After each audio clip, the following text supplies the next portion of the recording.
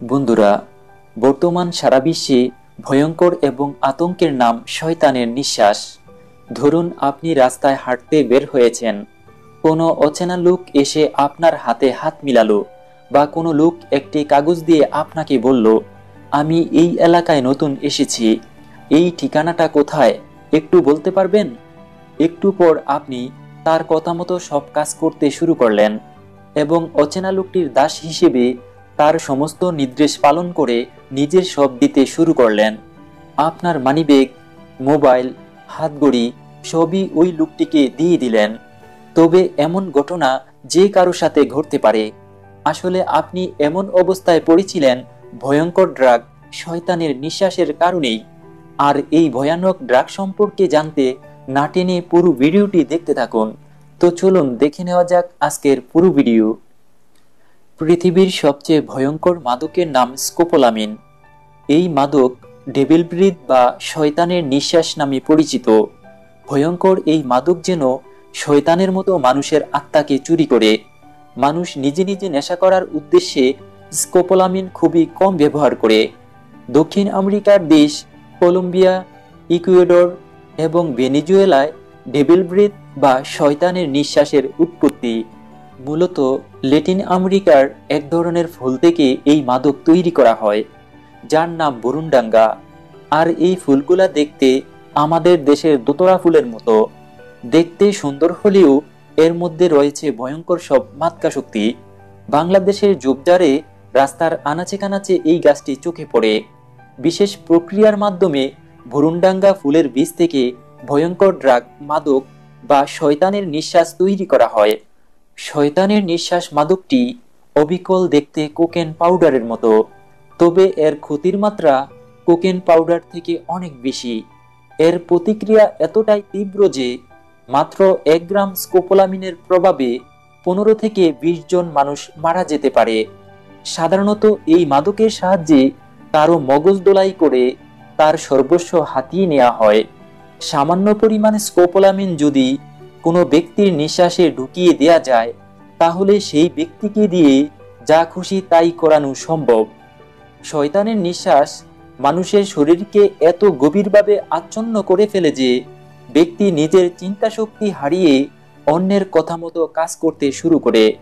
এছাড়া এই মাদক ব্যবহার করে আইনশৃঙ্খলা বাহিনী অপরাধীদের জবানবন্দি আদায় করে।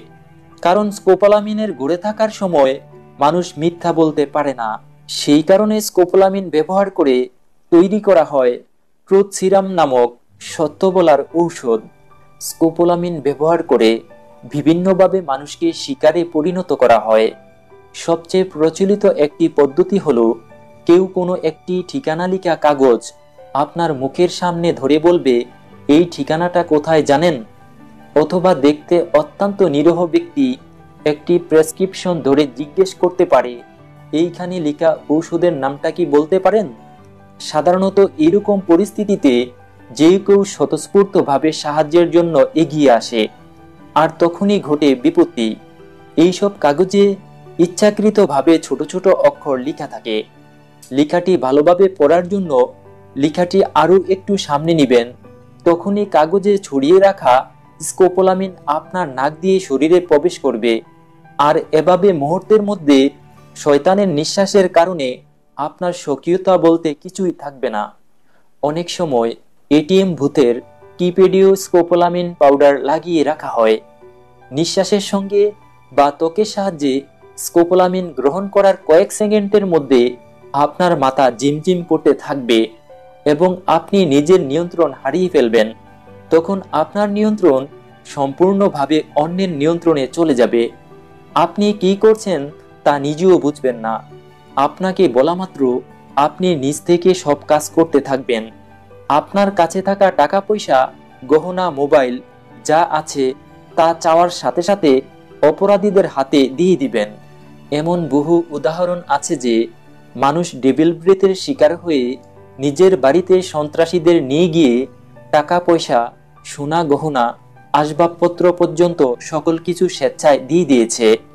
এরপর গান ফিরার পর তারা মনেও করতে পারেনি তাদের সাথে আসলে কি ঘটেছে। এমনকি তারা অপরাধীর চেহারাও ভুলে গিয়েছে। এছাড়া স্কোপোলামিন পাউডারের মাত্রা বেশি হয়ে গেলে ভিকটিম মারাও যেতে পারে। স্কোপোলামিনের প্রভাবে মুহূর্তের মধ্যে একজন মানুষের চিন্তাশক্তি কীভাবে অকার্যকর হয়ে যায়, উনিশশো সালে ডক্টর রবার্ট কোচ সর্বপ্রথম লক্ষ্য করেন যে স্কোপোলামিন দেহে প্রবেশ করলে বিভিন্ন এক মানসিক অবস্থার সৃষ্টি হয়, কারণ স্কোপোলামিন মস্তিষ্কের সিদ্ধান্ত গ্রহণকারী অংশের উপর প্রভাব ফেলে। স্কোপোলামিনের রাসায়নিক উপাদান মানুষের স্পাইনাল কোর্টের মাধ্যমে মস্তিষ্কের ফ্রন্টা কোর্ট ডেক্সে প্রবেশ করে।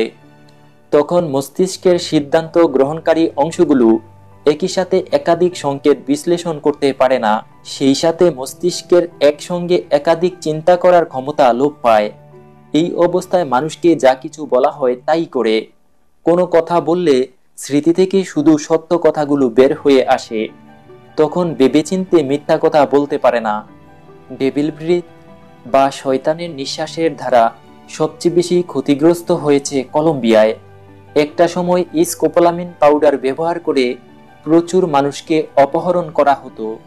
দুই হাজার সালের দিকে পৃথিবীর দুই ভাগের এক ভাগই অপহরণ করা হতো কলম্বিয়ায়, যার অধিকাংশই হয়েছে স্কোপোলামিন প্রয়োগ করে। এছাড়া কলম্বিয়ায় এই মাদক ব্যবহার করে চুরি, ছিনতাই, ডাকাতি, দর্শনের মতো ভিন্ন সব অপরাধ ছিল নিত্য নৈমিত্তিক ঘটনা। সাম্প্রতিক সময়ে বাংলাদেশেও স্কোপোলামিন ব্যবহার করে ছিনতাই শুরু হয়ে গেছে। রাস্তাঘাটে সব জায়গায় রিক্সা সিএনজি বাসে ওঠার সময় সাবধানে থাকতে হবে। বিশেষ করে ব্যাংক এবং জুয়েলারি দোকান থেকে বের হবার পর অতি সাবধানে থাকতে হবে।